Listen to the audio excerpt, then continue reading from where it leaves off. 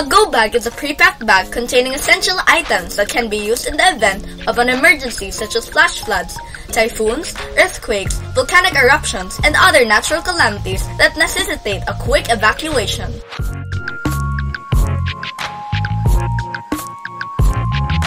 Prepare candles and a lighter.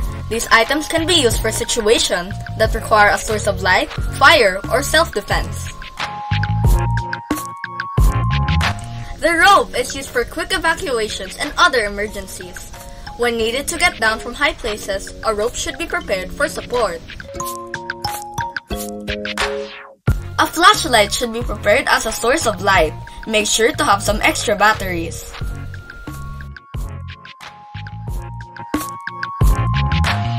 A Swiss knife is a compact tool with multiple uses such as cutting and opening.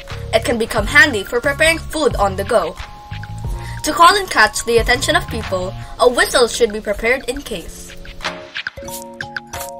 Of course, medical supplies must be prepared for the healing of injuries or others.